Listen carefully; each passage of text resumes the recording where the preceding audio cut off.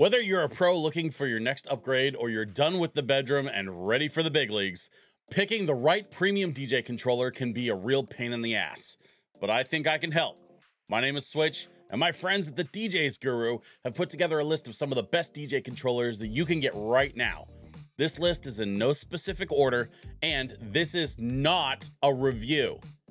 We like all of the controllers on this list, and the goal today is to break down some of the biggest and best options available in DJ controllers right now.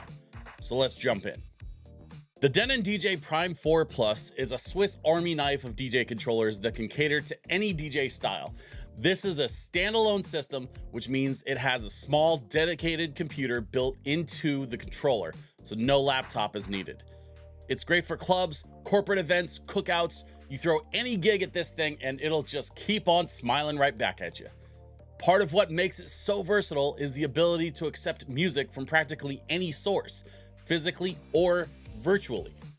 The Prime 4 Plus has a 2.5 inch drive bay, so you can add a hard drive to it, but it can also accept sources from one of the four USB inputs, an SD card, and you can connect up to four external players or turntables thanks to the four phono line switchable inputs on the back.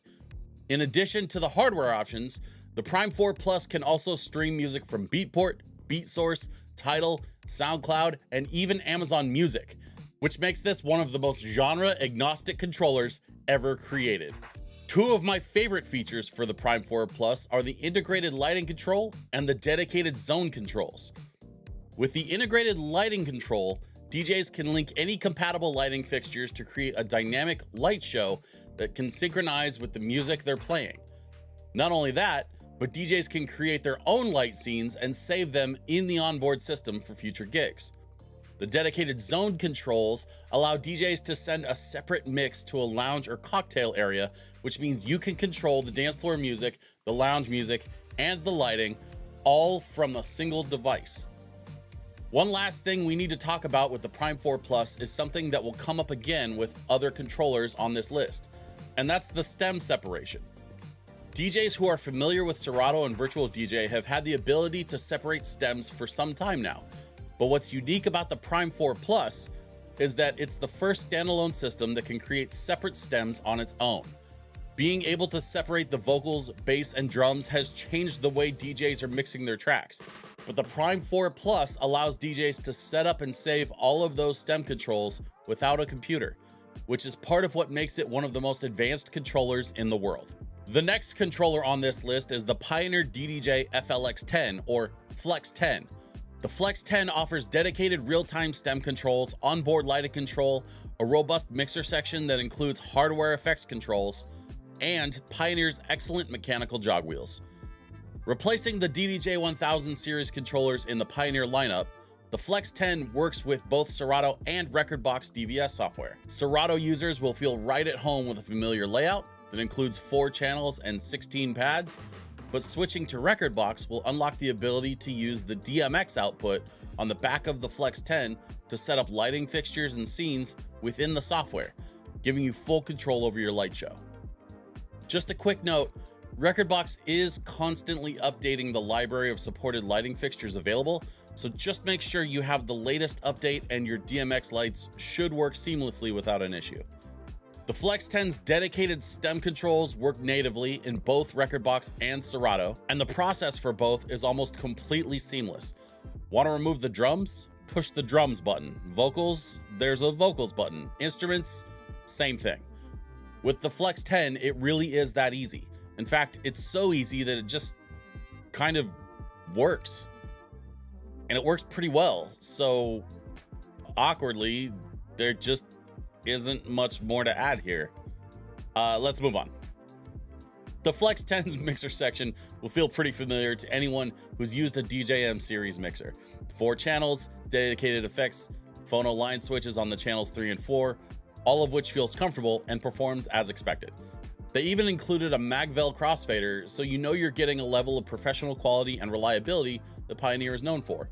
But even though I'm not supposed to play favorites on this list, the one feature that stands out for me is how satisfying it is to play on the mechanical jog wheels.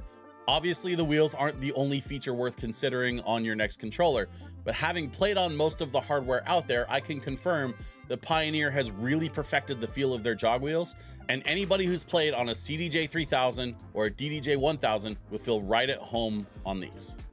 Okay, speaking of playing favorites, let's put cards on the table. Anyone who has seen other videos from me on this channel knows that I'm a Rane guy, and I have been for a long time. The Rane 4 is no exception. Although the Rane 4 doesn't feature any lighting or zone controls like some other controllers on this list, Rane instead focused on some really interesting performance features that we haven't seen anywhere else. The mixer section is four channels with a dedicated onboard effects, a fantastic Rane preamp for vinyl folks with phono line inputs on channels 3 and 4, and one of Rane's user serviceable Mag 4 crossfaders, making it easy to keep your faders clean, smooth, and working like new for longer. The Akai made performance pads are some of the best in the industry. The platters feel great, and the whole thing is built like a tank just in case it falls off a stage or gets dropped by a roadie with butterfingers. But the big party trick that makes the Rane 4 truly special is the stem split feature. Most other controllers will have stem controls that allow you to engage and disengage certain stems like vocals, drums, etc., and the Rane 4 has the ability to do that too. However, Stem Split takes it a step further by allowing the DJ to assign vocal or instrumental stems to each of the four channel faders for much higher levels of control. As far as I know, there is no other controller available that has added this feature to their faders. So if you're the kind of DJ that doesn't need built-in lighting controls and wants a higher level of control over your stems performance, this is going to be an excellent option for you. The next controller has proven to be an absolute no compromises monster of a machine since its release.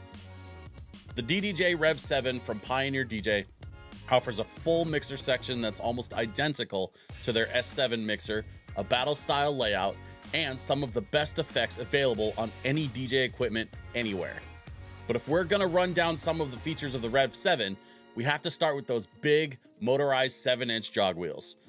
Anybody who spent years training their muscle memory on turntables will feel right at home with these spinning platters beneath a disc designed to feel like an authentic 7 inch record.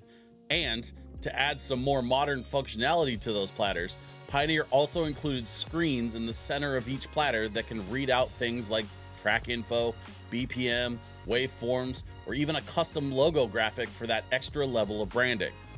The Rev 7 has every pro feature that any performing DJ could want, including Pioneer's Magvel crossfader, phono preamps on each channel, dual USBs for seamless transition between DJs, and 22 onboard effects that can be used with external sources like vinyl.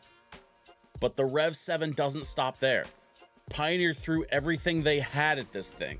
So DJs can enjoy dedicated controls for key shifting, dedicated controls for Serato's scratch bank, and even an instant scratch function that uses onboard memory to store a few scratch samples that DJs can recall at the touch of a button.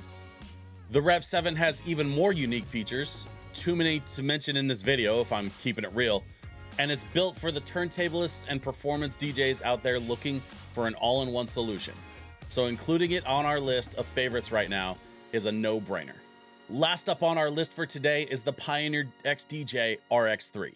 If you're looking for a standalone piece of performance hardware that doesn't require a laptop, this might be an excellent choice for you. The RX3 has a big 10-inch screen at the top and a two-channel layout that will be familiar to any DJ who's played on CDJ-based club setups over the years. It features two full XLR combo jacks for microphone inputs, two line and phono preamps for connecting external decks, and two USB plugs on top for connecting thumb and hard drives. One other feature of the RX3 that gets overlooked in my opinion is the internal power supply that uses a standard IEC cable. I know it's kind of a boring feature by comparison, but any real working DJ will tell you having a device that can rely on a standard IEC power cable could be an absolute lifesaver if your normal power cable gets accidentally left at a venue, packed in the wrong bag, or somehow got left at home. If you need that extra level of reliability and you want a standalone system for DJing, it might be worth taking another look at the RX3. That's to wrap up our list of our favorite DJ controllers right now. If you want to know more about any of the controllers on this list or learn even more about any of the controllers we featured today, definitely check out the link in the description below to the DJ's Guru blog, where you can not only take a more in-depth look at these devices, but you can also check out the XDJ XZ, which made our honorary mention. I go by DJ Switch PDX on all the socials, and I gotta give a big thanks to the DJ's Guru for having me back to collab. If you found this helpful and want to learn more about DJ tips and gear in the future, make sure you subscribe to the DJ's Guru for more videos. And I definitely recommend checking out my latest video breaking down all the reasons to use an external mixer at your gigs, which you can find on the DJ's Guru YouTube channel. Thanks for watching, and I'll catch you on the next one.